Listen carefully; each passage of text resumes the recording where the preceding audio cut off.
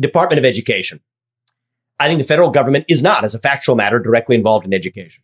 I think it is a therefore a deadweight waste for money to cycle from the taxpayers to the federal Department of Education to then disperse those funds inefficiently as they do, tilting the scales to four-year college degrees over choices that people might have otherwise made that are better choices for them. Vocational training, one year, two year programs, using it as a cudgel. And this relates to the latter issue you asked about to tell local schools they don't get that money unless they're adopting what I certainly view as toxic racial and gender ideology based agendas.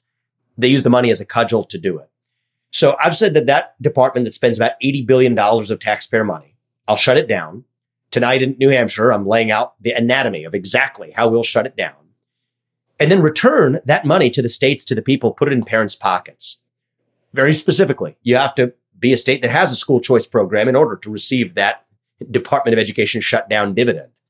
I think that if you're such a state, I would also believe that those states need to write their teachers union, teachers contracts in a way that stop teachers from joining teachers unions, which I think have been a destructive force on our public schools. If you're unionizing against the public, think about who you're unionizing against, the very kids you're supposed to represent. Now we have transparency, we have choice. If you teach it in the classroom, put it online. And then there's an interesting fact in this country where I think you guys will appreciate how bizarre this fact really is. There's not only like a failed positive correlation, there is a negative correlation, an inverse correlation between how much money per student a public school spends and the actual outcomes that that school achieves for its students. So in my version of school choice, my preferred version, it would not just be that parents get to get these vouchers and educational savings accounts to send their kids to some other school. That's part of the story. It's a first step. But I think any parent who moves to a school that spends less per student, which we know based on the data is actually all else equal a better performing school as it relates to achievement, should be able to take half the delta with them.